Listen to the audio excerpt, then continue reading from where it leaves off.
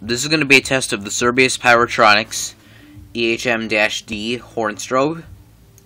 This thing is actually, um, th th this is formally, uh, this, excuse me, this is a rebranded Wheelock EH-DL1-WM-24 horn strobe.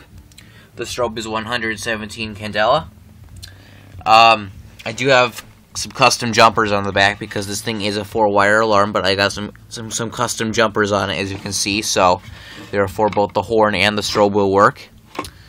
Um, so let's go ahead and give it a test. This thing does not have any um, inside um, coding options, so this thing is going to be simply doing a continuous signal. So here we go. Three. Oh, and by the way, I'm using my Simplex 425120 pulse station for this demonstration. So here, uh, here, here we go. In three, two, one.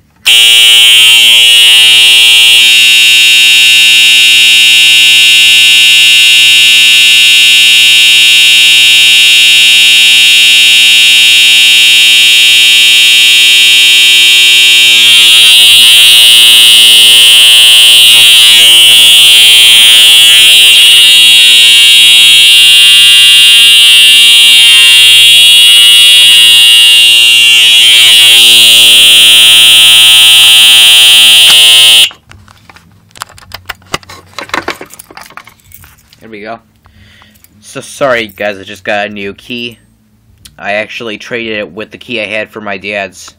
Or, this is actually one of my dad's keys from his work, but I decided to trade it out because um, I like the logo on this one better. So, it's having a bit of trouble in the 425120's lock. So, anyway, that's it.